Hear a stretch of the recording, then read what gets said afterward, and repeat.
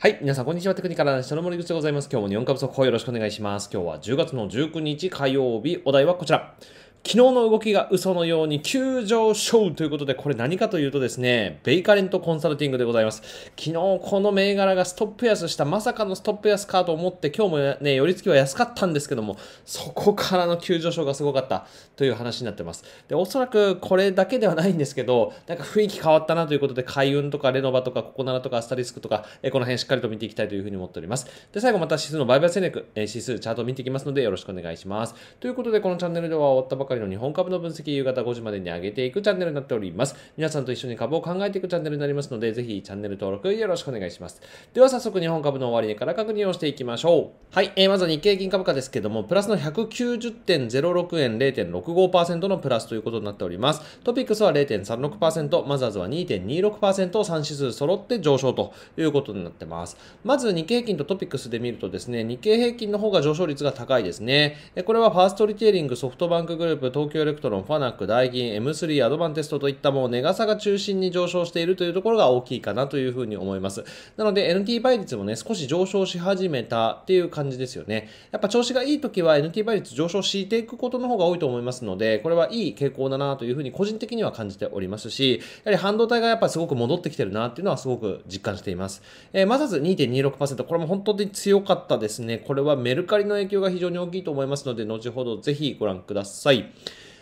売買代金見ていきましょう。レバレッジ ETF が1位ですね。2位がレーザーテックで、こちらも4.83%の上昇ということになっております。で、3位が日本郵船、あとは川崎汽船、商船三井揃って5%以上ね、えー、大きく上昇してきているということになってますね。で、あとは5位に入ったのがベイカレントコンサルティング9.79%の上昇ですよ。昨日ストップ安したとは思えないような動きでしたので、後ほどぜひチャートをご覧ください。まあ、その他も値傘株結構上がってる銘柄の方が多いかなというふうに思いますが、全体的で見見ると値上がりに下がりほぼ拮抗しているような展開になっております。マザーズ見ていきましょう。はい。マザーズはですね、アスタリスクがダントツトップですね、になっていて、売買代金も大きくできていて、ストップ高ということかな？ストップ高かな？どうかな？えー、後ほどちょっと見ていきますね。はい。で、メルカリがまた6.76%年初来高値を更新してきているというところで、これも特に材料があるわけではないんですが、この1銘柄だけでかなり押し上げているということは事実でございます。えー、その他、リベロ、レナサイエンスとかアイドマとか、こういったとこ直近 IPO なんで、指数には直接寄与してないけども、とても上がっていて、で指数に寄与の高い銘柄、特にメルカリなんかも上昇しているということなので、まあ、非常に強い動きだなというふうには感じました。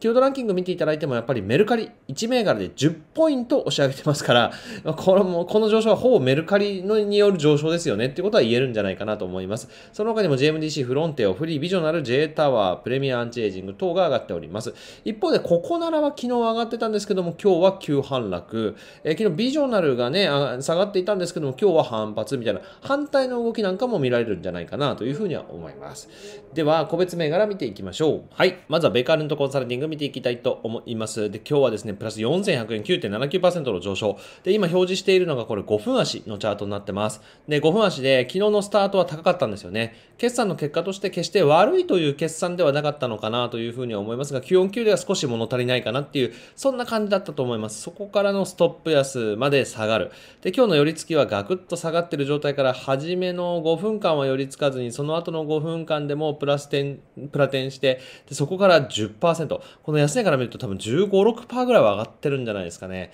ものすごい上がり方ですよね。まあ、値傘っていうのもあるし、昨日のストップ安後なんで簡単には買おうとも思えなかったですけども、まさかこんな動きになるとは。そして、この動きがですね、もう本当に今日の相場を物語ってるんじゃないかなというところで、ぜひ注目をしていただければと思います。えー、冷やしの方に戻してみますと、こんな感じですかね。まだ25日線に戻してるわけではないので、そんなにこう油断できるというか、これからも上がっていきそうだっていう、そんなチャートではないんですけども、まあ、完全に今日の雰囲気を表しているような感じがしました。はい、続いて日本郵船ですね。日本郵船がついにぴょこっっと抜け出した感じがしますよね。これ、ボリンジャーバンドにしてみましょうか。うん、そんな2シグマとかは関係ないか、ボラティリティがもともと高すぎて2シグマを超えるとかそういう感じでは全然ないんですけども、あただし、かなりね、えー、この揉み合いからちょっと抜けてきたっていう感じはありますよね。えー、なんで、この直近のこの8000円台をついに超えて、えー、プラスになっていくような感じなんですかね。商船三井や川崎汽船もほぼ同じような形状のチャートをしております。で、しっかりとした陽線を立てた後、どうなるのか、まだね、25日線上ありますからね、そんなに簡単に上がるとも思い切れないんですが、まあ、それでもやっぱり PR は2.7倍、えー、配当利回り8.64%という事実もありますので、うん、どうですかね。上がりますか下がりますかよく質問を受けますけども、何とも言えない としか言いようがないかなとは思いますが、えー、注目はしていきたいなというふうに思いますし、まあ、これは今、売買代金にものすごい顔を出してますから、やっぱこれの動向が良くなるってことは日本株のね、動向も良くなるっていうことだと思っています。続いて、はい、半導体等の流れで、流れを再び引き起こしたのが、この再生エネルギー関連でしょうか。どうでしょう、レノバ10.45%の上昇ということで、明らかにこちらもですね、ぐ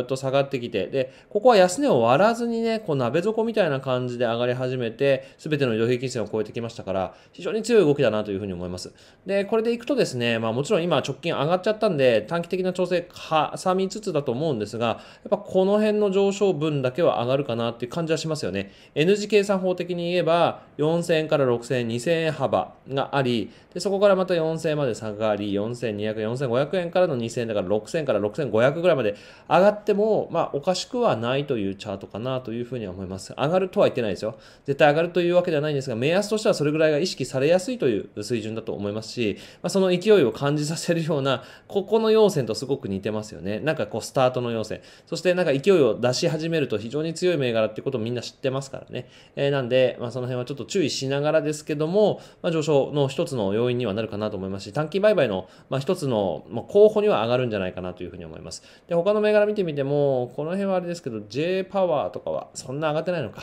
あですが、まあ、他の再生エネルギー関連も上がっていたので、ぜひ注目をしてみていただければと思います。はい、ごめんなさい。えー、メルカリにします。メルカリをちょっと見ていきたいなというふうに思うんですけども、今日のメルカリの動きこんな感じですね。非常に強い要線、そして年初来高値を更新したという感じになっていますんで、もう完全にこの流れに乗ってるなっていう感じがしますし、この辺の流れからね、こういうふうにこうトレンドラインが引っ張れると思うんで、で、チャンネルも引けると思うんで、このチャンネルに今入ってるなと、25日線とかのこの角度ですよね。えー、この角度のまま上昇をし続けているっていうのが今の現状だと思います。特に特段なんか新しいニュースがあったわけではないんですが、これが上がり続けている。そして、これが6.76%も上がると、先ほどキーワード見ていただきましたが、1銘柄でこれ指数を10%も、10%で10ポイントも押し上げているということですから、まあ、これとんでもない、まあ、指数キーワードを持った銘柄なわけですよね。今の指数キーワードちょっと見ておきたいと思うんですけども、東証マザーズにおける指数寄与度、これが9月末時点ですが12.2%。で、この上昇分考えると13%ぐらいは今メルカリがその時価総額シェアを持っているということですね。で時価総額シェアを持っている結果、メルカリが6%とか上がると指数が 10, 10ポイントも上がるということなんで、まあ、このメルカリの推移っていうのは今後もやはり注目だなというふうに思います。まあ、これによってマザーズの動きっていうのはもう本当に根本的に大きく変わってくると思いますので、この辺はぜひ注目をしていただければと思います。はい。えー、最後にアスタリスクですね。アスタリスクはですね、これ直近 IPO ですね。で、10月の1日がここだから、9月の末ですね、に、に IPO してきたという銘柄になってます。で、それが、まあ、一旦下がってからの、もうぐーっと上げて、で、下げてからの、まあ、ほぼ2倍近い水準まで上がってきたということになってます。で、直近 IPO がね、まあ、そんなにこう、初値が高くなるっていう銘柄は少なかった中で、動きとしてはかなり今日なんかは特にね、堅調に動いているような印象を受けました。売買だけをもう一度見ていただくと、アスタリスクもそうですし、リベロ、レナサイエンス、アイドマといったところも、もかなり大きなプラスになってますよね。こういったところ指数に寄与していないわけですし、まあ、売買だけ持ってかれてるわけなんでですけども、でもやっぱこれらが上昇している状態っていうのは、やっぱり個人投資家の懐が潤っているような状況を表しているわけですよね。えー、なんで、まあ、相場としては活況を取り戻すような一つの要因になる。まあ、それも含めてメルカリも上がっているし、指数も上がっていくし、そうすると、まあ、安定感も出てくるし、あと直近 IPO も調子がいいし、ということになると、まあ、指数全体で見てもね、かなりいい感じになってくるんではないかなと思います。まあ、ただし、これはまあやっぱり長い上髭が出たりとか、ボラティリティ自体は激しい銘柄ですから、まあ、こう、これを売買するっていう時にはね、非常にこう、注意しながらやっていかなければいけないですけども、一応決算内容を見ておきましょうか。はい、えー、これが10月の15日に決算を発表してね、非常にいい銘柄ですよね。成長性も非常に高いということです。えー、結果がですね、28.2%、2倍とか言ってね、えこういう結果に対して、来期もですね、40%の売上増に対して、利益が71.2%増ということですね。まあ、これはやっぱインパクトありますね。インパクトあって PR が50倍だとしても70%成長が続けば確かに PR50 倍だ。まあ、安いかなっていうふうに思えるぐらいの水準ですから、えこれはぜひ注目をしてみてください。どんな会社かちょっと見ておきましょうか。はい、えー、指揮法情報がまだございませんでした。ね、見てみようと思ったら、指揮法情報がなく、この本決算更新情報だけが載っているということですね。確かなんですけど、これは、あの、ユニクロのレジとかも作ってる会社、自動認識とかの会社だったと思います。で、ユニクロとなんか訴訟してやり合ってみたいな、なんかそんな会社だったと思うので、なんそういう、まあ、テック系の新しいセルセルフレジじゃないな、なんていうのかな、レジの補助機能みたいなのを作った商品認識とかができるような、そういう技術を持った、そういう会社になってます。で、時価総額まだこれで131億円ですから、まだまだちっちゃい銘柄ですよね。で、売上高が25億円予想に対して、え時価総額が131億円ということは、だいたい4倍から5倍ぐらいの間ぐらい PSR ですね。で、見ると。で、見れば、他の、まあ、テック系の企業に対しては、まあ、10倍前後ぐらい PSR ある会社が多いですから、そこまで高くはまだないのかなというところで、確かにこの、まあ、チャートの評価っていうのも、うなずけなくはないかなというふうに思いますね。なんで、今後もぜひ注目をしてみても面白い企業だと思いますし、まあ、来期以降の次の時の会社指揮法とかも含めて、どういう会社が、まあ、分析のしがいがあるんじゃないかなというふうに思います。ちょっと僕は個人的には注目をして見ていきたいと思います。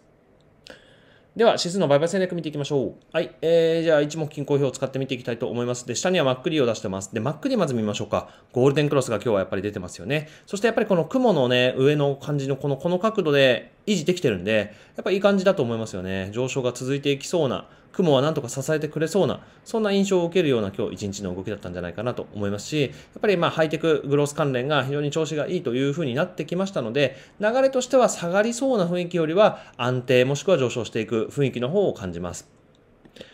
トピックス、ちょっと勢いが鈍ってきたかなという感じではありますが、まあ、同じく基準線の上まで来てますよね。そして、MacD も上あの上向きでゴールデンクロスが起こっていますので、まあ、今後日経同様で期待はしてもいいのかなというふうには見ております。